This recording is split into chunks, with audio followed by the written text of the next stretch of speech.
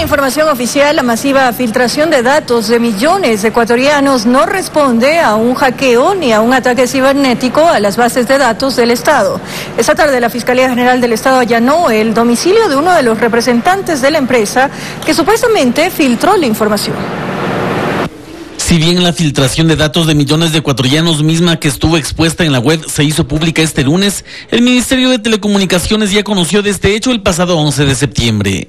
Desde ese instante, dicha cartera de Estado ha tomado las acciones legales pertinentes. Hemos investigado de qué empresas se trata, los dueños de las empresas, dónde han trabajado. Efectivamente, como se ha dicho, fueron funcionarios públicos del régimen anterior y hemos emprendido una acción penal. En esta filtración de datos se descarta el hackeo o un ataque cibernético a las bases de datos del Estado. La investigación del caso ya estaría en manos de la Policía Nacional.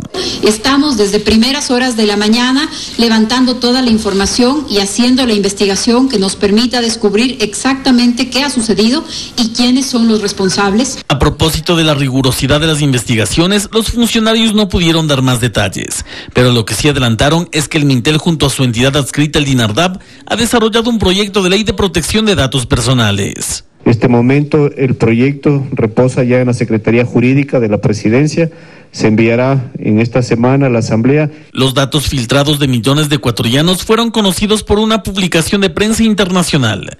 Se afirma que existiría información sensible que va desde números de cédula, de teléfono, direcciones, registros familiares, historial laboral, RUC y de cuentas de 10. Hay que dejar claro que no hay información bancaria en riesgo. De su parte, la Fiscalía General del Estado ejecutó la tarde de este lunes un allanamiento a la casa de William Roberto G., gerente de la empresa Novestrada, que se presume fue la que filtró los datos de 16.6 millones de ecuatorianos. Horas más tarde, según confirmó la ministra de Gobierno, este mismo hombre fue detenido en Esmeraldas y llevado hacia las autoridades de justicia, con el fin de que se pueda recabar información en torno al caso. Actualmente, al ingresar al sitio web de la compañía, se puede constatar que la página ya no está disponible. Informó Javier Rosero.